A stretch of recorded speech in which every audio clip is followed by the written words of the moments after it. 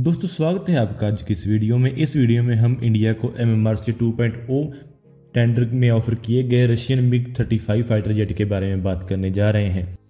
लेकिन वीडियो को शुरू करने से पहले मैं आपको ये बता देना चाहता हूँ कि डिफेंस डिकोड और टेक्निकल अस्त्रा जैसे चैनल को अपनी स्क्रिप्ट देने वाले सोनू जायसवाल जी ने अपना नया यूट्यूब चैनल खोल दिया है, जिसका नाम है Raksha Shikhar.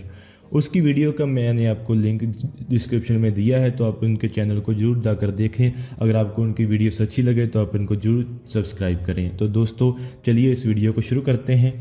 MiG corporation India को मिकोइन 35 फाइटर जेट ऑफ़र कर रही है, जिसमें एक नया ए एस रडार लगा होगा। इस नए ए एस रडार को मार्क्स 2019 इंटरनेशनल एयर शो में पहली बार दिखाया गया था। Phazotron Zhuk A M E A S radar ने 2019 में अपने डेमो एयरक्राफ्ट के ऊपर पहली टेस्ट फ़्लाइट की थी, जिसकी टेस्ट फ़्लाइट अभी भी चल रही है, लेकिन अभी इसे प्रोडक्शन क्लियरेंस नहीं दी गई है।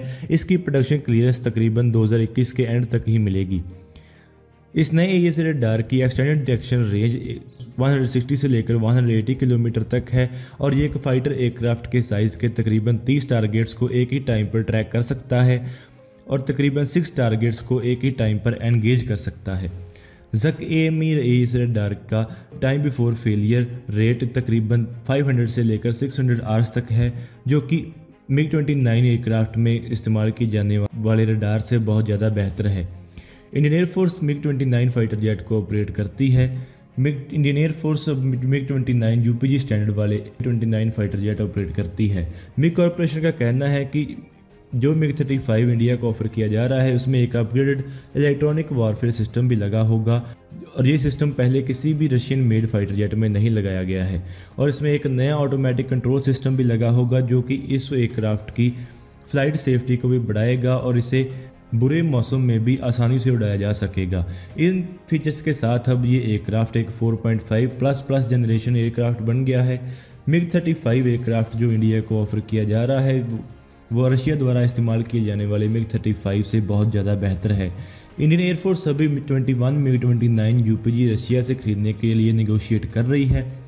इंडियन एयरफोर्स को अपनी फाइटर फ्लीट को पूरा करने के लिए नए एयरक्राफ्ट की बहुत ज़्यादा सख्त ज़रूरत है। जो रशिया से इंडिया नए MiG thirty, MiG twenty nine aircraft खरीदने जा रहा है, वो पुराने पड़े एयर फ्रेम्स हैं जो कि इंडिया को बेचे जाएँगे। ये एयरक्राफ्ट इंडिया को बहुत सस्ते मिल रहे हैं, जो कि अब इंडिया के लिए बहुत अच्छा सौदा है। मिग ट्वेंटी नाइन यू में N zero one zero M Zhuk M E radar लगा है, जिसकी डिटेक्शन रेंज तकरीबन 120 किलोमीटर की है, और ये एक ही टाइम पर 10 एरिया टारगेट्स को ट्रैक कर सकता है, और एक ही टाइम पर फोर टारगेट्स को एंगेज कर सकता है। मिग 35 फाइटर जेट में मिग 29 यूपीजे के मुकाबले ज़्यादा सुपीरियर रेंज है, और इसमें ज़्यादा वेपन कैरिंग कैपेसिटी भी है। मिग कॉरपोरेशन मानती है कि उनका मिग 35 फाइटर जेट इंडिया का एम सी टू टेंडर जीत सकता है। तो चलिए अब मिग 35 फाइटर जेट की डेवलपमेंट के बारे में थोड़ा जान लेते हैं।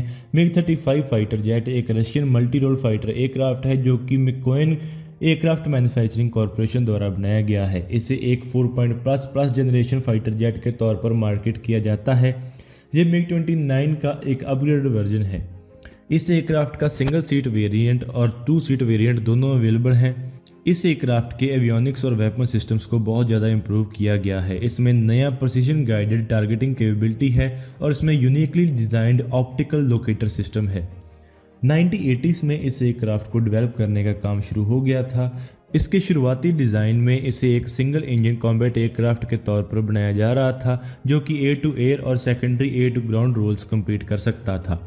कुछ अनआइडेंटिफाइड इंडियन सोर्सेज का बत, ने बताया है कि इस एयरक्राफ्ट को सोवियत यूनियन में इंडियन पायलट्स ने टेस्ट किया था और इसे इंडियन एल के एक अल्टरनेटिव के तौर पर सजेस्ट किया गया था। रशिया ने मिग 35 को 2007 के एरो इंडिया एयर शो में अनवील किया था। मिग 35 में दो F A D E C R D thirty three M के इंजन लगाए गए हैं। R D thirty three M के, मिग ट्वेंटी नाइन के में इस्तेमाल किए जाने वाले इंजन से बहुत ज़्यादा बेहतर है और ये उसका एक इम्प्रूवड वर्जन है। मिग 35 में इस्तेमाल किए जाने वाले इंजन्स, मिग 29 में इस्तेमाल किए जाने वाले इंजन से 7 परसेंट ज़्यादा पावर आउटपुट जनरेट करते हैं। इसके साथ ही 2017 में रशिया की एयरक्राफ्ट कॉरपोरेशन ने व्लादिमीर पुतिन को यह बताया था कि फ्यूचर में मिग 35 लेज़र वेपनरी भी कैरी कर सकता है। सोर्सेज से ये पता चला है कि इंडिया को जो मिग 35 फाइटर जेट ऑफ़र किया जा रहा है, वो 50 मिलियन पर पीस के प्राइस पर आ रहा है, यानी कि एक एयरक्राफ्ट हमें 50 मिलियन डॉलर्स कॉस्ट करेगा। लेकिन M R C two tender में इंडिया का मिग 35 को चूज़ करना बहुत ज़्यादा अनलाइकली है, क्योंकि इंडिया पहले ही राफेल फाइटर जेट को खरीद चुका है।